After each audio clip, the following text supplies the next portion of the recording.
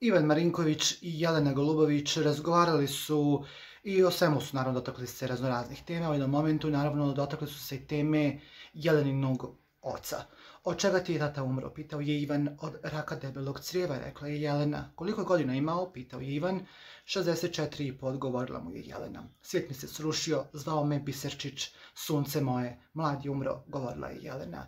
Jel se ti jedinica, pitao je Miljan. Ne, imam brata iz Satinog prvog braka koji je pilot i jednog rođenog koji na Filipinima, rekla je Jelena Golubović i podijelila ovo i više nego naravno tužnu životnu priču. Ivan Marinković i Jelena Golubović razgovarali su naravno o svemu, pa su se dotakli i teme Jeleninog oca koji je, kako ona kaže, mlad preminuo i svijetio se, kaže, cijeli srušio onog momenta kada je saznala da je otac preminuo.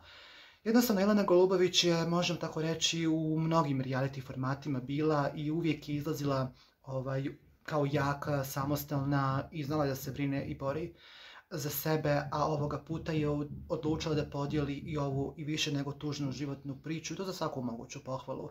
Rijetko kad možemo vidjeti Jelenu da se otvori da priča, a ovoga puta otvorila se i podijelila neke stvari iz svog privatnog života.